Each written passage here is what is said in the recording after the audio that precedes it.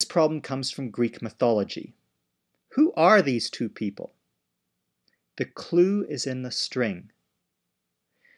On the left is Theseus, and he's about to wind his way through the labyrinth on his way to slay the Minotaur. Ariadne has just given him some string so that whenever he does that, he's going to be able to get out of the labyrinth again by retracing his path, picking up the string as he goes. Here's the Minotaur, and you notice that he's a little bit diminutive. Let's look for a more robust, masculine Minotaur. Here we go. And that is the opponent of Theseus. Theseus winds his way through the labyrinth, and after hours he ends up in this square room with these massive columns. In a fit of mathematical ecstasy, he decides to start winding the string around one column after another, each step getting longer and longer, until he gets to this point in the corner of the room. And then he wonders, can I get still longer? and he looks around and he suddenly figures it out. He can move down to this spot here. So he moves down there, but how long is that? Are you sure that it's longer than 4? Yes, we can use Pythagoras here, and Theseus knew Pythagoras. So it's 4 high and 2 across. So that would be 4 squared plus 2 squared all rooted. So that would be root 20.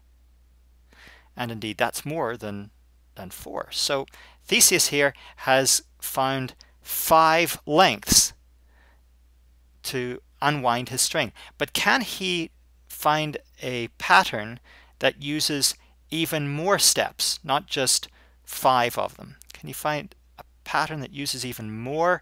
Each step longer than the step before, and each step not intersecting any of the steps or not touching any of the steps that happened before. Think about that, go off, turn off the video, try to solve that. Indeed, there is. Here's a, um, another way that he could have solved it, and that gets one, two, three, four, five, six, seven steps, so that's significantly better. Is that the best he can get? Oh, okay. So we have one, two, three, four, five, six, seven, eight, nine. Okay, so it touches here, so you can't touch. Oh. Okay, and these two are the same length. One, one. Oh, it's I told you. Yeah. Right, so this is not an acceptable solution that the two girls come up with there. And it's not acceptable for two reasons. First of all, you can see that there's a problem with the columns in the lower part. Right here, there's a touch. And secondly, the first two stretches are both one, so they're not different. So you, you have to increase the length every step that you take.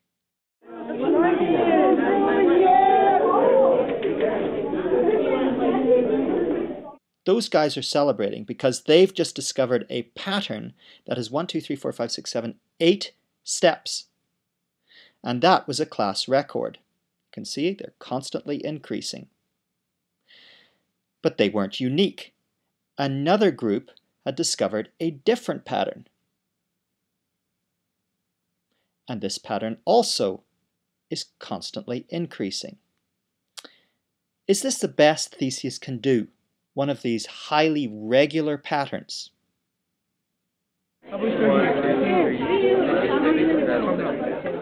Sure enough, these three guys found a pattern that is totally irregular and has nine steps to it. And their solution isn't even unique. Here is another solution with nine steps. The unsolved problem of mathematics related to this problem is for larger squares. You can imagine that you can give your class any squared dimensions that you want and it becomes tougher and tougher to find the best solution as your size of square increases. Uh, here's an 8 by 8 square and this is an attempt that I had to find the the maximal. and this is as good as I could get after quite a little bit of time trying.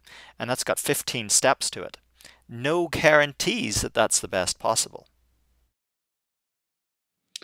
On the website, mathpickle.com, you will find downloadable worksheets for your students to play with the 5x5 and the 8x8 boards. Enjoy the problem.